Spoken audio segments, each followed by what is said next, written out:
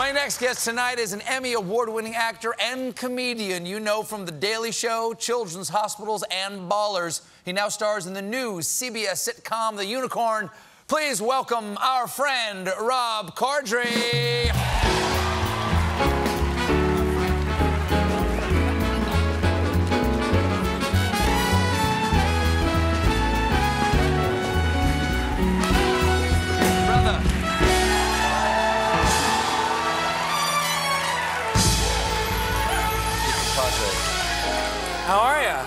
Mi compadre, mi muchacho. Ah, sí, sí, mi sí, sí. amigo, mi, my brother. How no. are you? I'm, That's all my Spanish. I know no more yeah, I don't Spanish. know. I'm. I, I know. Sí, sí. I got an important question for you, and Go I'm ahead. sure and I'm sure this is something that tortures you on a certain level, and I hope if it's not too sensitive of a subject for you. You're from Boston, and yet I never see you in those Boston movies Ah. where like everyone talks about like yeah, getting a Boston accent was so Yeah. hard, everything. But you're from Boston. Why Yeah. aren't you in those movies? Uh, well, the answer to your first question is yeah, it kind of tortures me a little bit. Thank you. I'm glad I could be here yeah, to I don't know. I don't know. dredge up these bad feelings. If you got, if you have a Boston movie in the hopper, let's. yeah, uh, sure. I'm in. There's all everybody loves a Boston movie. You know what I do? Do you have an audition for a Boston movie? Uh, oh, uh, sure. okay, let's see what you got. All right. Do I need to do anything? Do I need to set up the scene or anything? Uh, I might. You might have Okay. to. Um, we'll see. Okay. Uh, uh, uh, open on Rob Corddry as Hey. Boston guy. Stevie, Stevie, because in Boston, you're always your diminutive. You're like I'm Bobby. Stevie, did you hear about Maki? Did you hear about Maki DeLuca?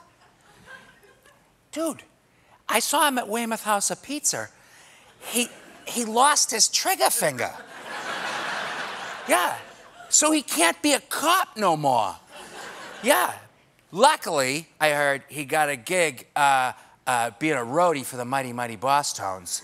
So he landed on his feet irregardless. Only two, only two jobs in Boston. There's Only, two there's jobs. only two. There Two only jobs. two industries. Cop.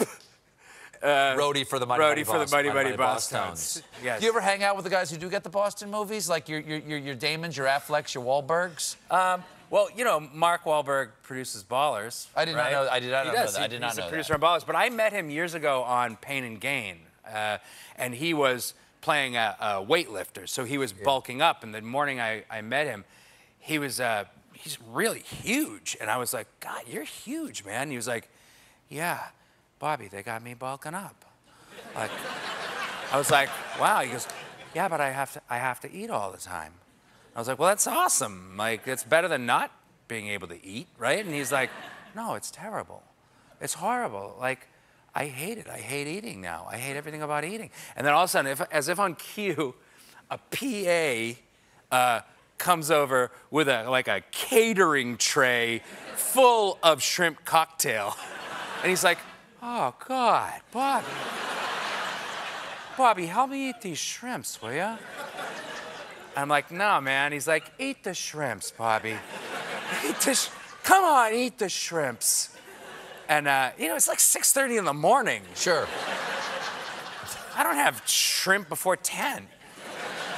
That's a rule. That's a rule. God damn it. I, we haven't gotten to the damn show yet. Oh, I'm on a show, yeah. You're on a show called The Unicorn here on CBS. On, see, we're family again. Once again, we are again. family. I Yeah. see in the commissary. Yeah. Yeah, see in the cup. Yeah.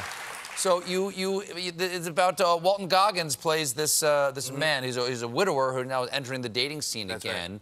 And uh, you're you're a buddy of his. Have you what what is your I say best or worst date you can I have, Imagine. Well, this might be the best. Real and- story, real and story. worst. Uh, Best and worst? Okay. Yeah, uh, it's been a long time. Um, I, I, I uh, so How I long was have you been married? 17 years. Yeah, it's been a long time. It should be should be a long time. And they, they weren't gonna clap. We'll hit the button. We'll hit the button. Anyway, um, so uh, I was uh, I was uh, had a date scheduled with this beautiful woman for Saturday, and it was Friday night, and we ran into each other, right? So So you're going out Saturday. You just ran into each other. ran into each other. So we ditched our friends and hung out together all night. And we, we went back to her place, me and this uh, uh, woman. And uh, it was fairly chaste. Like, you know, I, I, uh, I, uh, well, forget it. Well, you forget. you know, it's not. You don't need to know what happened. no, it's Eh, don't worry about CBS. it. CBS. Um, uh, we ended up falling asleep on her futon. Oh, Yeah. Aww. yeah. And I woke up a couple hours later and I had drooled all over her face. It's like, so I'm never not drooling when I'm sleeping. I, I drooling all over her face. And there's no way, uh, no way out of this. Like I had pinned her You didn't leg wake down. her up or anything? I did wake her up. Of course. The I- drooling didn't The wake her lady's got drool on her face, Stephen. I'm guessing this did not lead to a second date. I woke her up, and uh, and I said, "Hey, this is uh, this is funny. Um, I may I may I may have definitely drooled on your face." And she's like, "Oh my God, no big deal. No, this is fine. Oh my God, don't please don't worry about it. Don't stress out." And she got up to go to the bathroom to wipe my saliva off of her face took one step and collapsed in a heap because I'd been sleeping on her leg and it was asleep. so, the answer to your question uh, was uh, yes, we did have our date the next night, and, and then I married her. Well, this is Sandy. This is Sandy. That's This a is keeper. Sandy. That's a keeper. The Unicorn airs Thursday nights at 8:30 on CBS. Rob Corddry, everybody. We'll be right back.